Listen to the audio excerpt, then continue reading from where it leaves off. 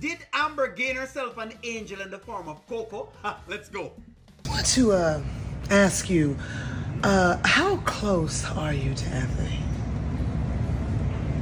Uh, we're not that close, which is cool. Like a little bit, just a little. And you gonna sit here and tell me that?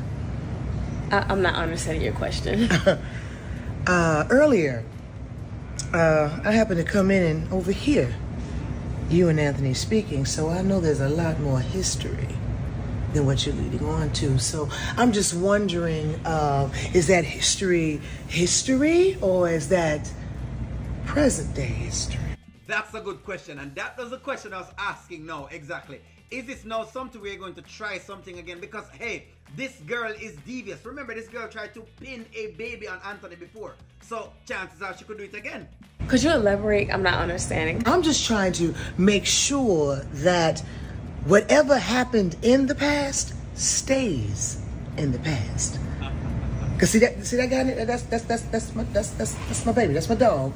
And and now that he's married to Amber, we may have started out rough, but I got her back too. So I just need to make sure that you understand.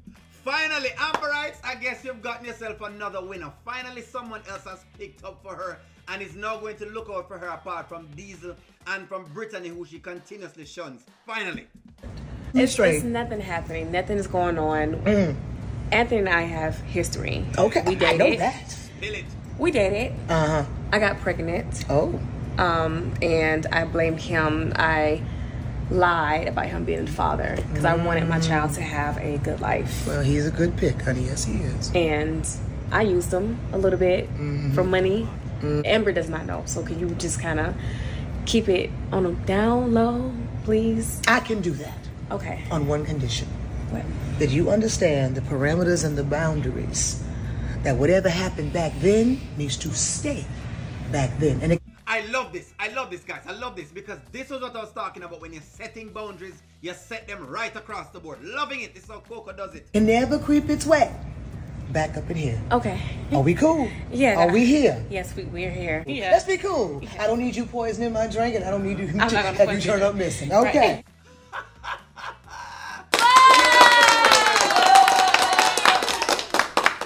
Absolutely great. When I talk about boundaries, these are the boundaries I'm talking about. Boundaries that are set with everybody. Because guess what?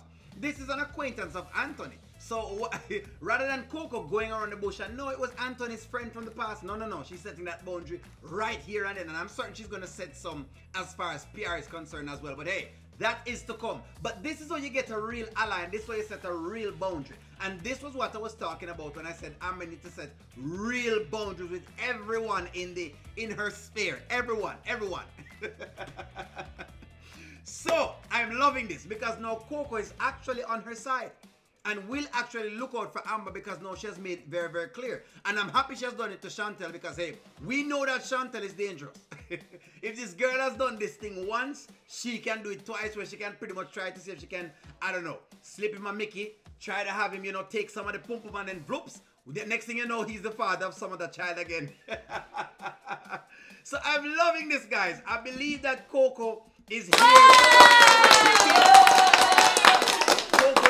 We do have something, someone that can at least try to bring this chaos, this these festivities to an end. And so, of course, we know now that Shuntel's pum pum will be staying in the bag. It won't come out of the bag. but let me know what you guys think.